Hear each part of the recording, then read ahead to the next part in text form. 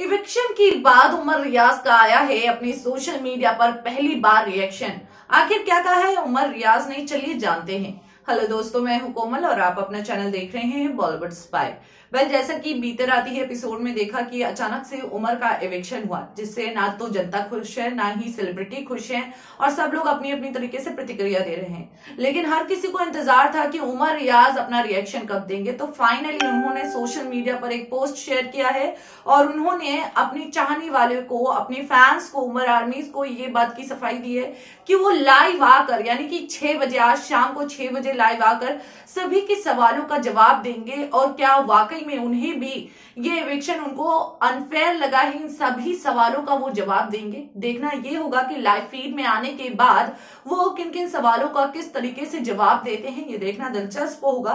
तो वेल जो उमर आर्मी है, छह बजे का वक्त लेकर बैठ जाइए आराम से, क्योंकि उमर रियाज आने वाले हैं लाइव जहाँ आपके सभी सवालों का जवाब देंगे सामने फेस टू फेस वेल आप कितने एक्साइटेड हैं उमर रियाज के लाइव के लिए, आप हमारे कमेंट बॉक्स में ज़रूर बताएँ।